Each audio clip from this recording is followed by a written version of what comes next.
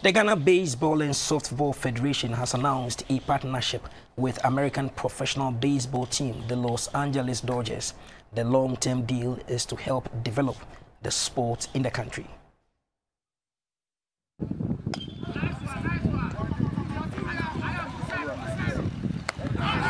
The partnership, Christian, creating partnerships for the good of the people, was announced on the second day of the Dodgers' 10-day visit to the country.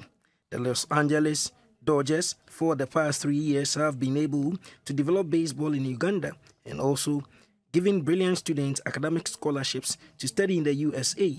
The Director of Sports and Promotions at the National Sports Authority, Mr. Jeffrey Usumanzan, said his outfit is ready to support initiatives that combine education and sports. My Director General is in support of every development you do in sports once it's legal.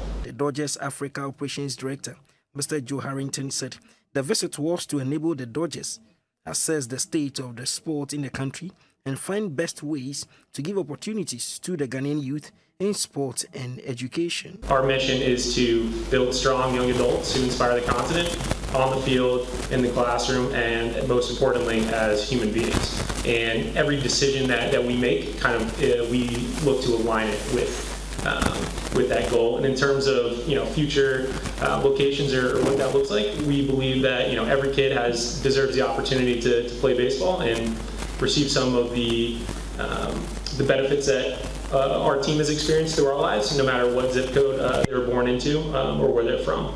The president of the Ghana Baseball and Softball Federation, Mr. Nezanso, said the federation was on a mission to make baseball a household name in the country. The future is great. We don't want to be in Accra, just in Greater Accra like uh, it's been for all these years. If you mention baseball, it's in Tema, Accra, finish. So this time, we what we're doing currently is to go to most of the regions and uh, to make sure we get baseball played, be played in those regions. The public relations officer of the Ministry of Youth and Sports, Mr. Kenneth Annan, thanked the Los Angeles Dodgers team for choosing Ghana among the few countries to develop the sport. Baseball will definitely have its share as far as the development of sports in Ghana is concerned. We are all in this together, and so once we are all stakeholders, we need to collaborate to ensure that we give the sport the right place that it needs to be. The six-man team from the LA Dodgers included Joe Harrington, Willie Norden, Sesmakula Midday, Ryan Owens, Mike Odiwa, and Kajimu Arafati.